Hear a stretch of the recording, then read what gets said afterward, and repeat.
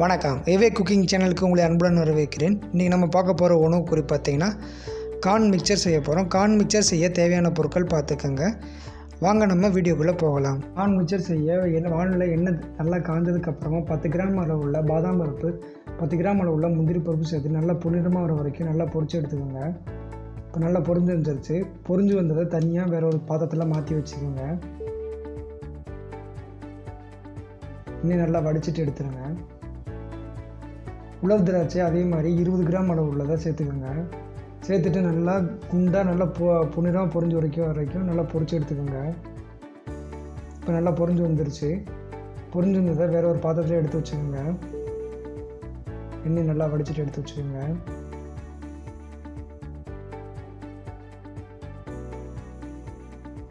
ஐம்பது கிராம் உள்ள பாசிப்பருப்பை வந்து பார்த்திங்கன்னா எட்டு மணி நேரம் நல்லா ஊற வச்சுட்டு ஒரு துணியில் வச்சு நல்லா வெயிலில் காய வச்சு எடுத்துகிட்டு எண்ணெயில் நல்லா எண்ணெய் நல்லா காஞ்சதுக்கப்புறமா பொறிச்சு எடுத்துக்கோங்க. அந்த தோல் வந்து பார்த்திங்கன்னா மேலே இருக்கிற தோல் வந்து தனியாக பிரிஞ்சு வர அளவுக்கு நல்லா பொரிச்சு எடுத்துக்கோங்க. இப்போ நல்லா பொரிஞ்சு வந்துருச்சு. பொரிஞ்சு வந்ததை வேற ஒரு பாத்திரத்தில் எடுத்து மாற்றி வச்சுக்கோங்க.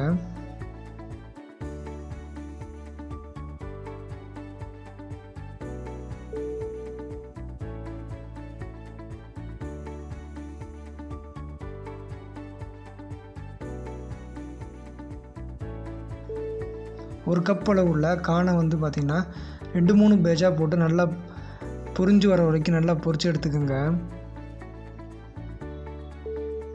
இப்போ நல்லா பொரிஞ்சு வந்துருச்சு. பொரிஞ்சு வந்ததை வேறு ஒரு பாத்திரத்தில் மாற்றி வச்சுக்கோங்க.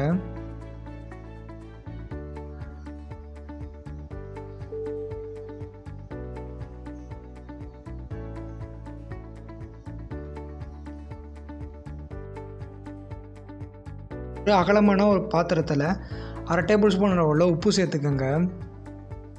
அரை டேபிள் ஸ்பூன் அளவுள்ள மிளகாத்தூள் சேர்த்துக்கோங்க. சீனி கால் டேபிள் ஸ்பூன் சேர்த்துக்கோங்க. பொடியாக்கின சீனி சேர்த்துக்கோங்க. சேர்த்துட்டு நல்லா கலந்துக்கோங்க.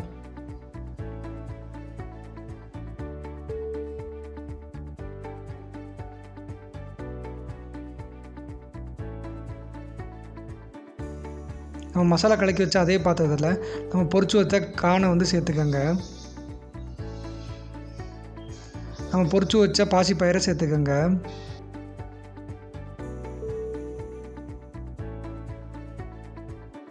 நம்ம பொறிச்சு வச்ச உலர் திராட்சை முந்திரி பருப்பு பாதாம் பருப்பு சேர்த்துக்கோங்க. உங்களுக்கு வேணும்னா வேர்க்கடலை சேர்த்துக்கோங்க பொரிச்சிட்டு.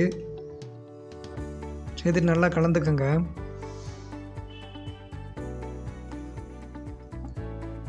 மசாலா நல்லா கலந்த அளவுக்கு நல்லா கலந்து விட்டுக்கோங்க. கார்ன் மிக்சர் ரெடி ஆயிடுச்சு இந்த கார்ன் மிக்சரை உங்கள் வீட்டில் செஞ்சு பார்த்துட்டு எப்படின்னு கமெண்ட் செக்ஷனில் சொல்லுங்கள்